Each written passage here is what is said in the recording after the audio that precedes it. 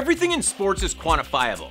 Analytics have never been more important to coaches, players, and even fans, but setting up the resources to acquire this data can be extremely expensive. Only the big clubs can afford the high-speed cameras and such that capture this information. Researchers from the University of Illinois at Urbana-Champaign want to change that. And they have started by installing IoT devices, like low-cost sensors and radios, into sports equipment. Now, pro systems can cost up to a million dollars to implement and maintain. This IoT tech that they're using costs less than a hundred. The sensors use algorithms that can track movement to within a few centimeters. They can provide trajectory, orientation, and even revolutions per second. Players could soon check out stats on their accuracy and speed on their smartphones. The researchers, which started with a cricket ball, so room for improvement, are looking at new ways to charge the sensors. They think that they can harvest energy from the spin of the ball to power the sensor. All, you know, to figure out why that curve isn't breaking. Break it! Shit. Hit! Forget about the curveball, Ricky. Give him a heater. So I can hear myself echo! It sounds like Dimension's days are numbered. Last week, Stratasys introduced a new line of FDM machines, the F123 series. According to Tim Bowling, the Stratasys chief marketing officer, we're not in a one-size-fits-all era of the 3D printer anymore. Now, we're entering the era of specialization. According to the company, the global prototyping market is between 10 and 15 billion dollars, and additive manufacturing only taps about 23% of that. With the new F123 series, the company is hoping to grab a larger piece of that pie. Stratasys launched the Dimension line of 3D printers, which includes the Fortus and Uprint brands, in 2002. According to Stratasys president of the Americas, Rich Garrity, the F123 will put those printers out to pasture by printing 25% faster in ABS, PLA, ASA, and PCABS, starting at about two thirds of the price. What I found particularly interesting was just how quickly you can change out material. Any novice user can swap material in less than a minute, and it's easy to set up.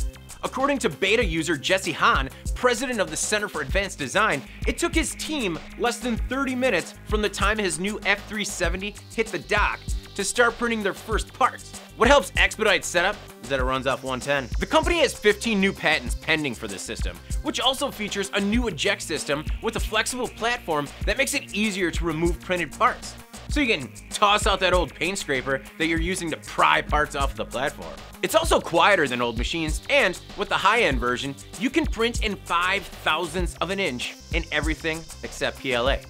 Just need to get one of those into the office, give her a bit of a test run. I just liked playing with that platform at this show, just like, it's not breaking, but I thought it was gonna. So I can hear myself echo! This is Prosthesis, an 8,000 pound 200 horsepower off-road mech. While you might have a few applications that immediately jump in your mind when you see this, like a weaponized version for the military or an industrial version for material handling, mechanical engineer Jonathan Tippett has another idea. He wants to race it. Tippett is the CEO and founder of Furrion Robotics, the research initiative primarily run by volunteers that built prosthesis. Partially inspired by Burning Man, the annual pop art commune in the Nevada desert, Tippett set out to use engineering as an expressive medium with a focus on developing large-scale exobionic technology. He spent 10 years of his life, he's got about a half million dollars in materials, and in less than two months, he's gonna be at its helm for initial testing.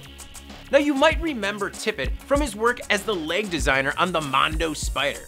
That was a 1,500 pound, eight-legged electromechanical walking vehicle that turned heads back in 2006. Who would have thought that a giant mechatronic spider would be nothing more than a smaller runt sibling 10 years later? Prosthesis was first introduced to the world at CES 2017, and I had a chance to see it firsthand at SolidWorks World 2017.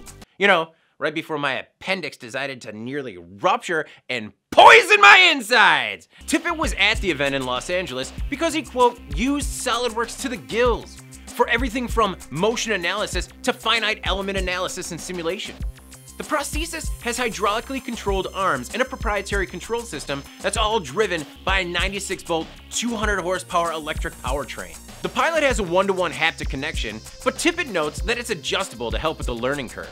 Apparently, piloting the mech looks like great fun, but it's a bit harder to learn than expected.